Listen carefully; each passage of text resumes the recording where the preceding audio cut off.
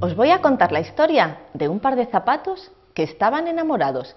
Vivían en una caja de cartón, envueltos en papel de seda. El zapato derecho, que era el señor, se llamaba Nicolás y el zapato izquierdo, que era la señora, se llamaba Tina. Sentían que siempre sería así. Pero un día una vendedora los sacó de la caja para probárselos a una señora. La señora, viendo lo cómodos que eran, pagó y se los llevó puestos. Durante todo el día anduvieron sin verse el uno al otro.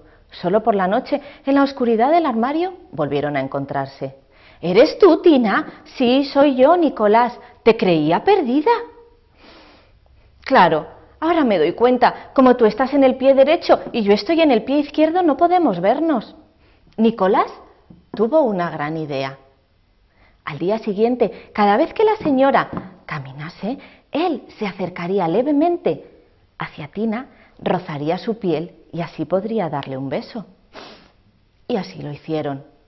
Al día siguiente la señora no podía dar tres pasos sin caerse. El pie derecho se enganchaba con el pie izquierdo y ¡plaf! se caía al suelo. Preocupada, fue al médico. Doctor, doctor, que me pongo zancadillas a mí misma. El doctor, más preocupado todavía, le dijo, tendré que cortarle su pie derecho. Estos zapatos seguían tan preocupados. ¿Qué pasaría si le cortaban a la señora el pie derecho? Tina tuvo otra gran idea. Al día siguiente sería ella la que se acercase a Nicolás para rozar su piel y darle un beso. Y así pasó. Al día siguiente, la señora no podía dar tres pasos sin que su pie izquierdo se enganchase con su pie derecho y ¡plaf! se caía al suelo.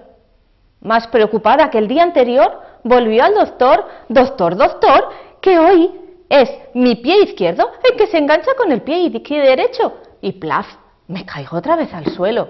El doctor le dijo, la solución sería cortarle los dos pies.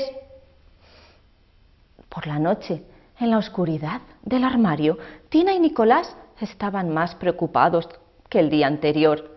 Si le cortaban los dos pies a la señora, acabaría sus vidas.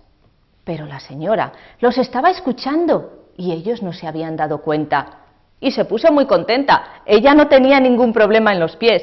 El problema lo tenían los zapatos, que estaban enamorados decidió que se los iba a regalar a una sobrina que tenía, que caminaba, caminaba de forma muy lenta. Así los zapatos siempre estarían juntos y podrían estar rozando su piel.